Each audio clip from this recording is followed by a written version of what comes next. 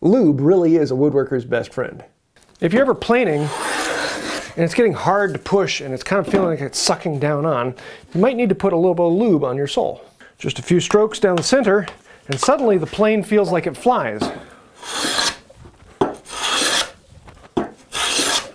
Same thing with saws. You ever find that they're binding and twisting the cut because it's pinching up? Then grab some of that, run it down the sides of the plate, and it's amazing how it just then slides through the work. A lot of people absolutely love putting oil on a rag, wrapping it up and putting it in a can. Paul Sellers loves that method. Some people like using straight wax and that works really well too, but I've found if you actually combine the two and make your own paste wax, it works even better.